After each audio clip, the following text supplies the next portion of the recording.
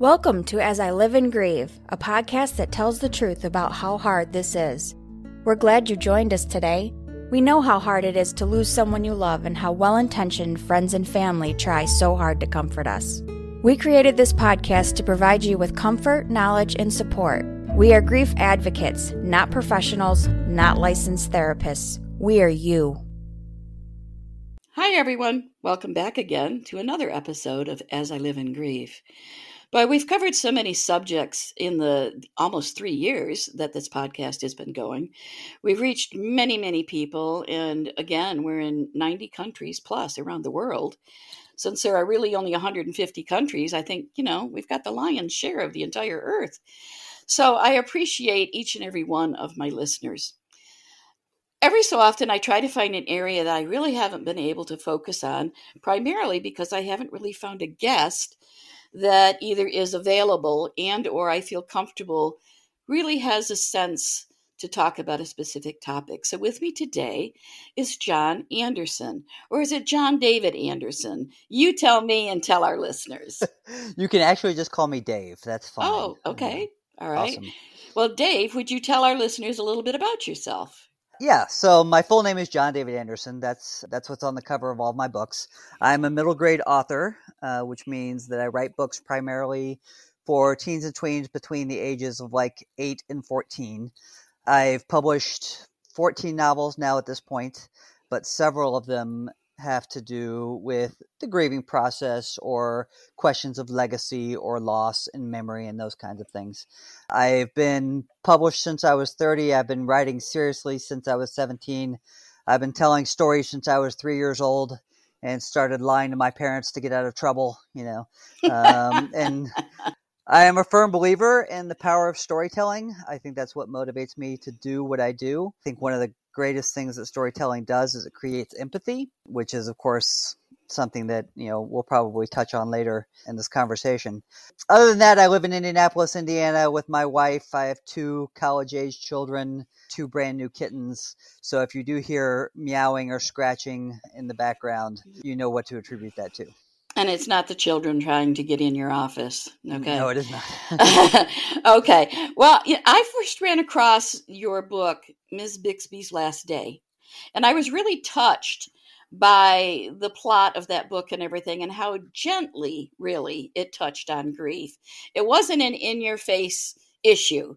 You know, to me, it just felt very gentle. And I thought, what a great book to give your tween, your and you already answered one of my questions with your age group between 8 and 14 uh, because it would introduce them to the topic and certainly give you ample room for discussion to sit down with them and talk about it or read the book with them. I thought that was great. And then as you and I got talking a bit, you mentioned your other books and I picked up Finding Orion. And I have to tell you, the only constellation I can pick out in the sky is Orion's belt. Mm-hmm. So Finding Orion had special meaning to me. But then when I saw how you kind of touched on grief in this book, and you know, the listeners know me well enough to know that my sense of humor is on point most of the time. And even at the memorial service for my husband, one of his good friends came to the podium to say a few words about him, set down a paper cup of Tim Hortons coffee on the podium, and at my husband's memorial service, I dissolved in laughter, which quickly turned to sobbing, I admit. Right. But the yeah. laughter was because my husband had to have his cup of Tim Hortons coffee every single day or he was not happy. So the entire time he was in the facility, every day I would take him his coffee. And even when he got to the point, he had a brain tumor, even when he got to the point where he couldn't swallow anymore, his his swallowing reflex wasn't working, so they were giving him thickened liquids and everything. He mm. couldn't have his coffee, but I'll be darned if he did not force down several swallows a day of his Tim Hortons coffee before he would start choking and then the nurses would come. But he had to have that coffee. So humor yeah. is great. So when I saw this book, again, targeted for the 8 to 14 year olds, and this Norman Rockwell family, well, all right, so they're a little quirky. Um, they have jelly beans for appetizers, which I loved. But when they responded to a knock on the door and it was a clown with a telegram or a singing telegram or whatever that constituted words like Ooh, Papa Quirk, he made life grand. He laughed big laughs. He made big plans. By all accounts, a Superman. But Papa Quirk has kicked the can. I thought, what? And then I thought again, what a great way to introduce grief, death of someone you care about, to tweens. It will get them laughing, it will loosen them up, and hopefully start them talking. So, how did you, Dave, come across these concepts? Was it in working with your own kids? You know, it it all comes from various places. Obviously, uh, the sources of your inspiration. It's hard to pinpoint. You know, just any one thing. I know with Miss, Miss Bixby's last day, uh, my wife was a teacher, my mother was a teacher. You know, so I've been surrounded by teachers. And when you think about your relationship with teachers, I mean, this is somebody who's very important in your life, like incredibly important Yes. for one for one year, right? Yes. And then after that, you move on to the next one and the next one and the next one. And so you take that that process, building a relationship and creating those memories, and you Mhm. condense it down to this very finite point of time. And so then it becomes sort of a microcosm for all the relationships that we create in our life. Right. And so it's easy for me to think in terms of grief and in terms of processing legacy and the impact that somebody's had. It's really easy to think of that in terms of a teacher, right? Because you know, you think about your parents, and both of my parents passed away not too long ago, and there's so much baggage, right? That's Uh, associated with that. yes. Uh, Yes. it would, yeah, it would take 50 novels to unpack it. But you can unpack what a teacher meant to you in one book. right. Yeah. You know, and then so when you couple that with, you know, Miss Bixby has stage four pancreatic cancer, she has to leave the school year early. She is in the hospital, and these three boys that she's had this tremendous impact on, they decide they're going to skip school and break her out of the Mhm. hospital and just give her that last day party that teachers are supposed Right. to get, you know? Right.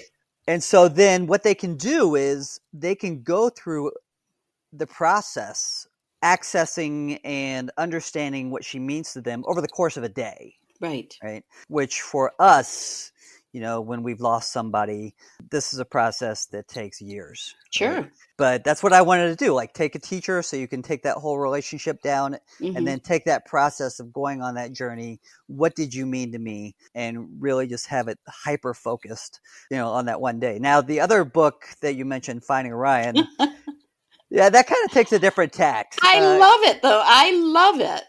Yeah and when you mentioned um, your husband and tim hortons Yeah. i was just thinking uh, about a third of the way through that book they go to the funeral right because you can't you can't spell funeral Can't. without fun and without giving too much away to listeners there's taco trucks and marching bands and Mhm. elvis impersonators and Mhm. you you name it right it is a shindig to be sure Yeah. Absolutely. And part of that of course was papa quirk and part of that is a function of the plot but part of that is exactly what you're talking about we use humor right. not just as a defense mechanism i think although it, we do do that but there's something terribly absurd you know about death right Absolutely. when you think about it like why does it even have to happen why do our bodies Mm-hmm. deteriorate you know all these things why is that always you know the end of every story that's ever told right because it has to be right. and i think especially if you're a tween or a Mhm. young person a teenager Yeah. and you're invincible because we all know that Absolutely. are I have made that same expression. I have associated that exact word with many tweens and teens I know. The, at, this is the reason they do some of the stupid things they do because they're invincible and Uh, immortal. And well immortal. I I will give them a little credit for their morality, but Yeah. uh, I, w- I will say their foolishness stems from yeah, it's that the the invincible aura, sure. and so to them, death has to be even more absurd, like even more co- incomprehensible. Right. You know, pushing fifty, I can start to imagine it, right? Like, eh, I can see that coming. But when I was twelve, I definitely did not. So then, when it comes, you have to deal not only with the permanence of it, right, Mhm. uh, which is shocking, but yeah, just also the absurdity of it. And so that's Mm. how I approached that novel, right? Uh, Yeah. Was to take that to the humor to the extreme, right, uh, and then pull it back, right. so that they did come to grips with their very true feelings. Because you can't just laugh at it forever, right? No, no. as you right. say, you, you have to laugh until you start sobbing, uh, exactly. so you, that you get the release. But I guarantee that were everything in this book to come true, decades later, the family will have happy memories of Papa Quirk more than if it had been a very traditional, somber funeral. And when we started this podcast, my daughter and I said, we just want to make grief an easier topic to talk about. Mhm. So when we find something like your books, the books you've written, that really fits our mission, if you will, because by reading this book, it does make it easier because you can laugh about it. You read it, yes, it's absurd to think that somebody would put on a funeral like this. However, there is a trend around the world now to have different types of funerals. We've already gotten away from some of the traditional ones by having memorial services separate from the funeral home. The family may be the ones to attend the burial or placing the urn with ashes somewhere special or scattering ashes, but you have a memorial service. I remember years ago going to a funeral for a young child who actually fell into a well and drowned. And it was just so, so tragic. Yet the funeral was a celebration of this young boy's life. And I left there feeling fulfilled and happy. So I really like to celebrate the fact that this is kind of trending Mhm. now, where we are celebrating the lives people have lived and the memories that they're leaving with us. And many times, families are turning these memories into a legacy. Many, many of our guests have started a legacy. You yourself, in many ways, have a legacy because you have these books. So, do you have any thoughts on what might be a challenge when you're dealing with that age group, the tweens, the early teens, as far as broaching the topic of grief? If you were to have a loss in your family, I mean, you said recently your parents died. I'm I'm guessing a clown didn't come to your door announcing that. Okay, how did you broach that with your kids? Do you mind talking about that? No, and it was different. You know, my father had cancer, uh, Mhm. and so his was a long, you know, battle. Obviously, there were lots of treatments involved, Right. uh, and so that was multiple conversations, right? Sure. And when it's when it's that case, when you can see something coming, and even when you see quality of life start to deteriorate, then that puts you in a different position, right? Uh, To Mhm. talk about legacy because it's something that, I mean, we could even talk about it with him, right? Sure. At the time.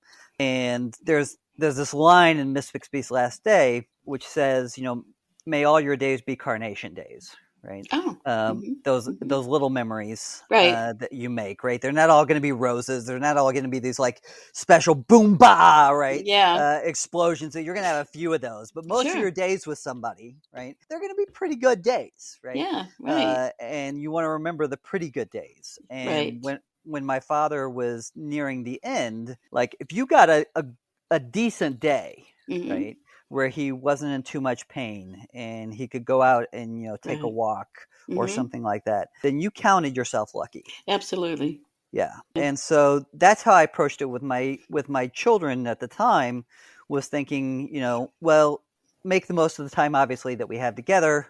Let's carpe this diem, right? Sure. And then, you know, that will help us to solidify these memories as we're making them. Mm-hmm. Mm-hmm. My mother passed away a little over a year later when the pandemic started Okay. and it was completely sudden and unexpected.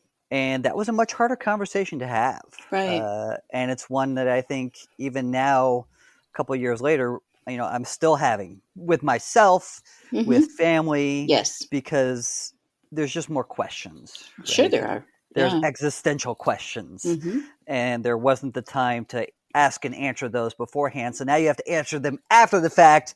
And I think that's harder. And so I think for that reason, one of the things I would just stress, you know, any parent to do is have the conversation before you have to have the conversation, which is to say, you know, make sure your children understands a little bit about the inevitability of these things mm-hmm. and that they then use that as a benchmark for appreciating and assessing their own life and their relationships and their experiences with you and their friends and everything around them. You know, we can't all mm-hmm. seize the day every day. There's, you know, we don't right. have the energy for that. Right. And but often we perspective. We, right. And often we don't realize that a day was good until it's already passed. Right. Exactly. When yeah. you have something else to compare it to. Yeah. You know. Now, instead of as a parent, as a teacher, if you know that a student in your class has suffered a loss in his family, and let's just assume for the moment that it was an unanticipated loss, hmm. maybe a heart attack or a car accident or something, do you have any thoughts about how a teacher might handle the situation? Well, my wife was the public school teacher. I only taught college. Okay. Um, and so I will say the advantage to that is, you know, we had uh, great aunts dying right and left from college students who wanted to get out of their test.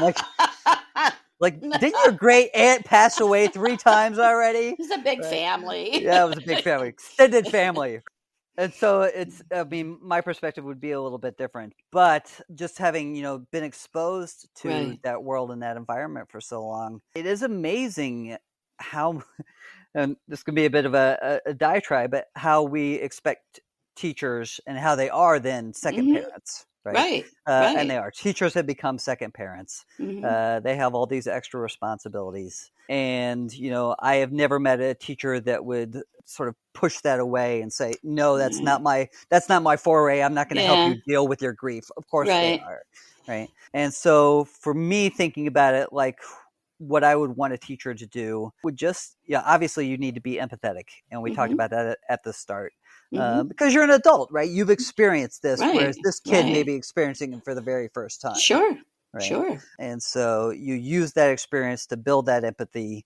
uh, with your students. And then, if there's any way to do it, try to create empathy in the classroom as well.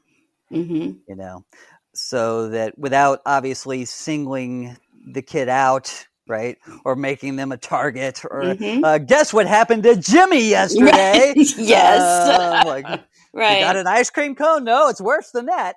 Then you allow a community to build, right? Right. Because we all need support networks. Absolutely. Obviously. Yeah. Uh, and here's an ingrained one, right? Here's mm-hmm. one that you go to seven hours a day, five days a week. Right. Uh, they might as well be there for you. Right. Right. And I honestly think, I mean, yes, you can take your toddler for a walk and you can find a, a dead earthworm on the sidewalk after the rain has dried up and everything. And you can have a conversation about how that worm has died and all living things must die. And, and the toddler's, mm, ice cream, yeah. ice cream, you know, because they have that very short attention span. But obviously, with tweens and young teens, it needs to be dealt with a little differently. They're going to have a lot of questions, questions that you may not even believe have entered their brain. Mm-hmm. And it may not so much be, well, what happens after you die? Although that's probably one of the most common. Yeah. What happens? And then you've got this entire thing about, well, what's our belief system? What do we, yeah. y- you know, what do you believe? So you can, as a parent, and I'm not saying this is a teacher's place because it's not, it starts with the parents. You can have different conversations about that. And you can even say, I honestly don't know. Because theoretically, once someone's gone, we don't hear from them again. However, there are people out there that believe they do hear. And you can just imagine. And one thing I loved as a parent was having discussions like this with my tweens and early teens because it was actually a conversation. Mm-hmm. It wasn't me spitting out a sentence about a dead earthworm and then having the child distracted, not want to talk about it anymore. It was actually hearing what my child was thinking. that became so important to me as a parent. And we were able to have some really incredible discussions. I was very honest with them. I said, This is what I believe. Yeah. But this is how I was brought up. Right. You were brought up a little differently. We didn't go to church every Sunday when I was raising my girls. So their belief system was and is different. Yeah. They have to form their own beliefs and everything.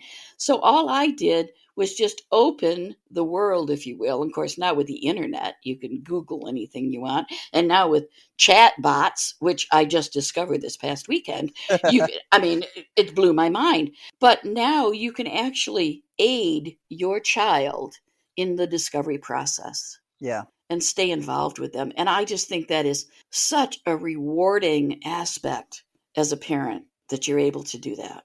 And what I like about what you said, and I think this is really important, especially with young people as they're creating their own belief systems, right? And they're, you know, sort of researching dogma and putting that, pitching that against the things that have happened in their life, is that there's a difference between, you know, there is an answer and this is the answer, right? Mhm. And so I've always pushed my kids to say, there is an answer, right? Mhm. I don't necessarily know it. I'm still figuring it out for myself Right. you'll figure it out for yourself. I do believe, right, that there is purpose and meaning, Mm, right? exactly. Um, I wouldn't Yeah. be an author if I didn't, right? Right. Because this is what we do as storytellers. We try to find purpose yeah. and meaning. Definitely. But yeah. I'm not going to prescribe that for you. What I'm going to do is equip you with the tools that you need Exactly. Yeah. to ask the right questions Uh huh.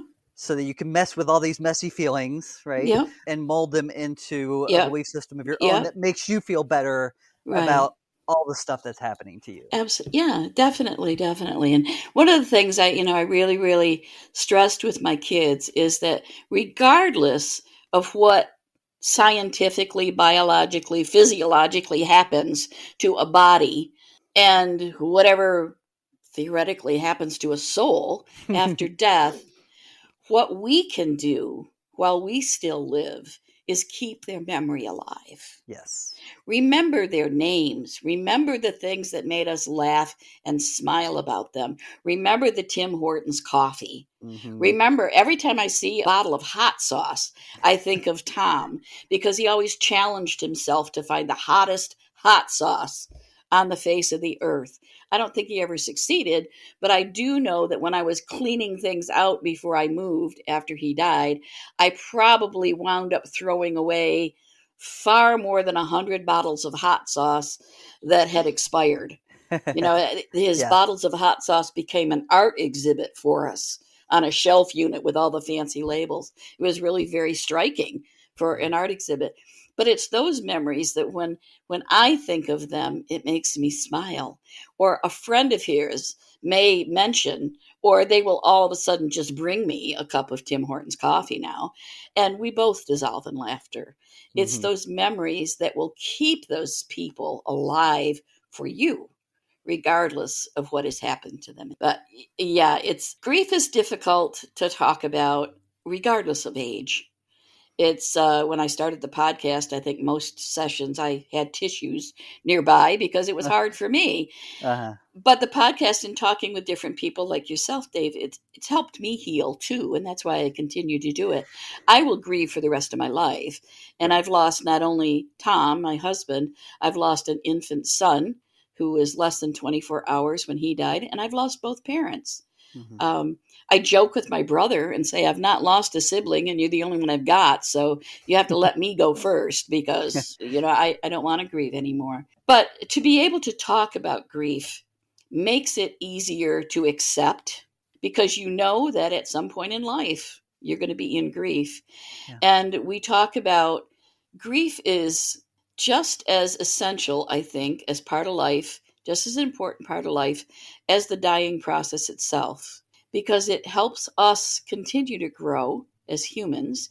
And I know that today, five and a half years after Thomas died, I'm really a different person than I Mhm. was before he died.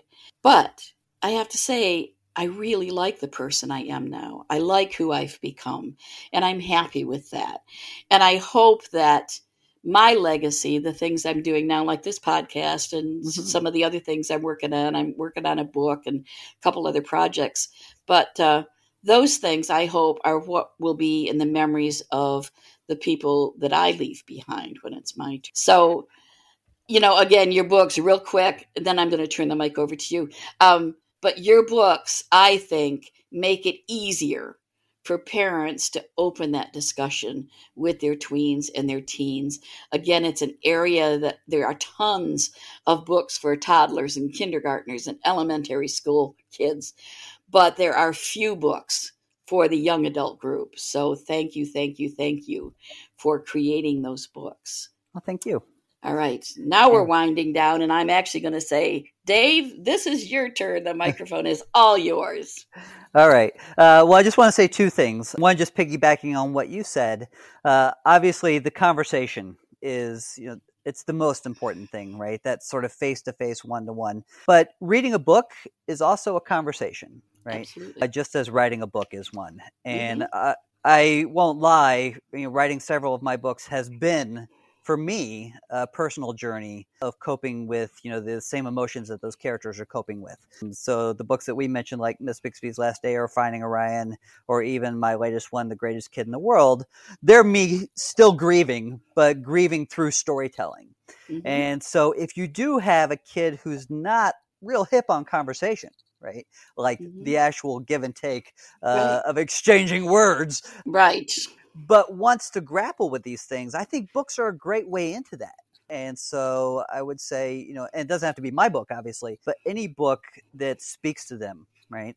That at least allows them to start to ask those questions and maybe find answers is going to be valuable, right? So mm-hmm. uh, this is, I mean, it's a plug in one way for yay, books and literature are great things, but they're just extensions of the conversations that we want to have with that in mind, I will say that there, there are any teachers out there, educators, librarians that you know are interested in broaching this topic with their classrooms and want to pick out one of these books or any of my books that deal with these things that i am ready and available to come in and have a skype or a zoom just to sort of video q&a i'm easy to reach. You can find me at john david anderson author right on the internet or john david anderson author at gmail. And you know i'd love to be able to as we say have this conversation with the young people directly as opposed to just having the conversation with them through my novels. Yeah well again dave you know i'm going to say thank you probably 1900 times.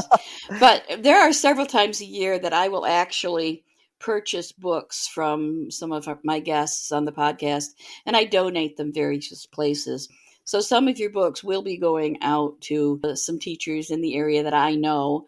It's a great book to have on hand should you encounter this situation. And again, we see more and more in the news about tragedy striking our school kids, that age group, the students themselves, whether it's a friend or a loved one of a fellow student. So I think more and more teachers are going to feel the need coming up to kind of broach the subject at some point because in broaching the subject and at least opening the discussion it's the it's one of the ways and probably maybe the easiest way to help our kids cope with this disaster that at some point is going to hit their lives yeah and, you know, whether they're elementary school or young adults or whatever, we have to be open as adults and let the kids know that there's no topic that they cannot discuss with us, even the ones that hurt. So, right. I highly recommend your books to everyone I know. Again, I do get asked for recommendations, and this age group is a tough one, but it's not tough anymore for me to recommend books. So I appreciate it. I appreciate you taking the time to come on and chat about it because, again, it's an area that I feel we've kind of uh, soft pedaled maybe over the last few years. It's difficult to find people that are comfortable talking. Sometimes it's difficult to find people that are comfortable talking about this age group mm-hmm. because we all know that this this age group they're starting to form their belief system for their own adulthood. And they don't know what they want to believe. Right. And sometimes they don't even know how to ask somebody what do you believe they're just not comfortable talking about things So, anything we can do as adults, as parents, as aunts and uncles, as grandma, Mhm. grandpa, anything we can do to open that discussion for these kids is going to pay off big time. It It's is. going to pay off for them, it's going to pay off for future generations right. because they are going to remember the day that grandma sat down and we talked about death. I guarantee it. I just Yeah. guarantee it.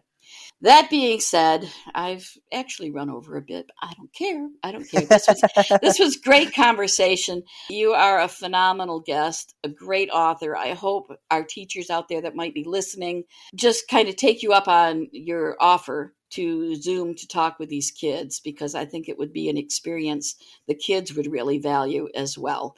And for some reason, Dave, I know that you probably get as much out of it as the kids do. oh, absolutely. I'm Yeah. just guessing. We're all still learning. Yep. Absolutely. So, on that note, listeners, thanks again for tuning in. We'll catch you again next week. Again, thanks so much, Dave.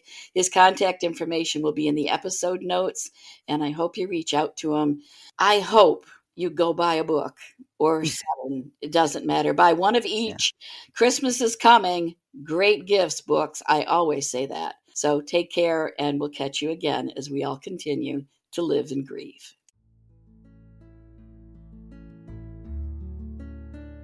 Thank you so much for listening with us today. Do you have a topic that you'd like us to cover, or do you have a question from one of our episodes? Please email us at info at asiliveandgrieve.com and let us know. We hope you will find a moment to leave a review, send an email, and share with others. Join us next time as we continue to live and grieve together.